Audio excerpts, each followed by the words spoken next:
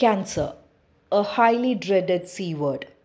Every one of us knows someone who's battled cancer with or without success. Sometimes the prayer has been just for the agony to end. Been there, done that. According to a 2022 report presented by the National Center for Biotechnology Information, about 14.61 lakh people are suffering from cancer in India. One in nine people is at risk of the disease.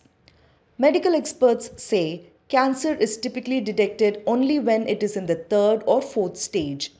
If caught at the first stage, its growth can be stalled. But is there a way to spot cancer before it bears its fangs? This is where IIT Madras is offering a ray of hope. Cancer is a disease of the genome, so the mutations that cause cancer have to be identified. A team at IIT Madras has developed an artificial intelligence tool known as Pivot to predict cancer. The team has trained the model based on openly available patient data to detect what mutation in a particular gene causes cancer.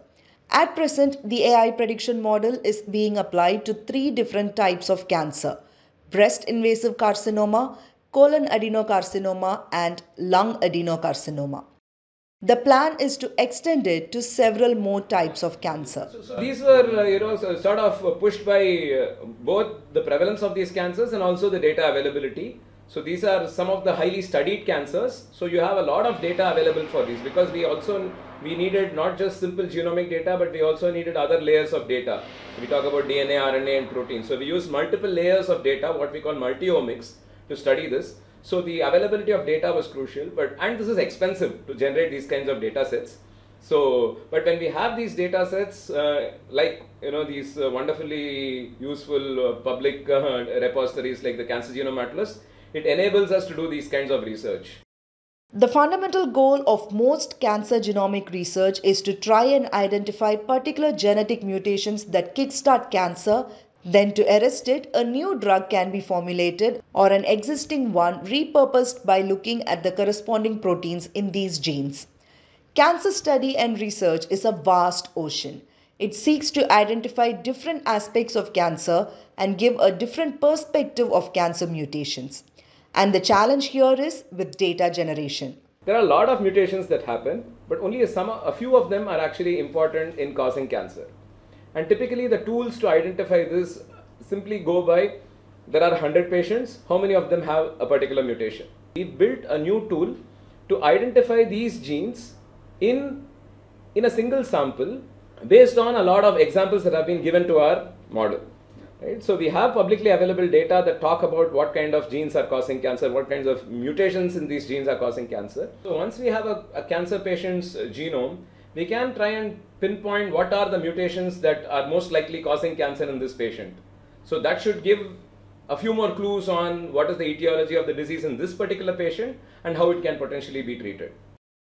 The catch here is that there are differences between data retrieved from a Caucasian patient and an Indian patient.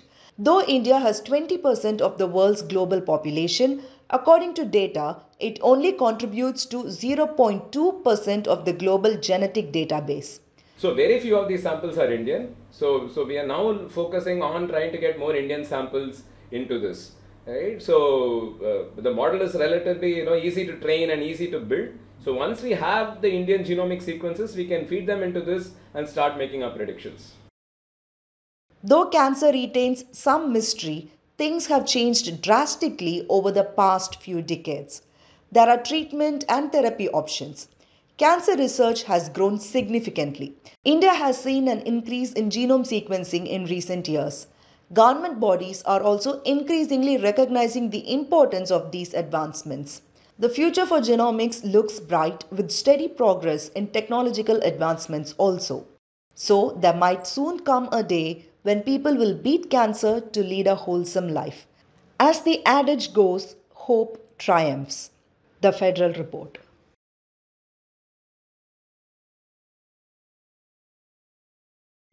Subscribe to the Federal's YouTube page for more news and updates.